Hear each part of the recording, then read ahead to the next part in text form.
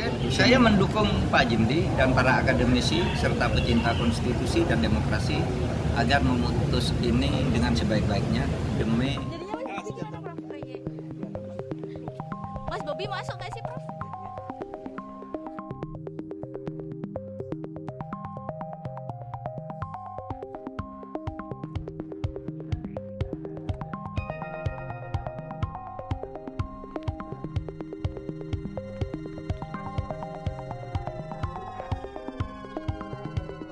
Ya tunggu tunggu putusan Pak Jimli Sidiki sebagai MK MK Majelis Kehormatan Mahkamah Konstitusi. Tunggu saja kita percayakan dalam sehari dua hari ini. Mungkin hari Senin ya atau Selasa gitu.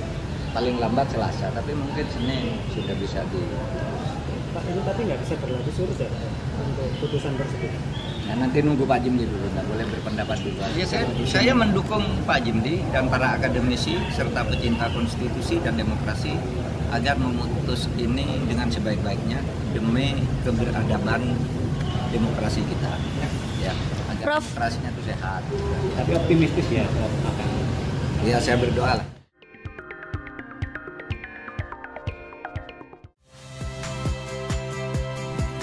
Saya Yasir Neneama. Saksikan program-program Kompas TV melalui siaran digital, pay TV, dan media streaming lainnya. Kompas TV, independen, terpercaya.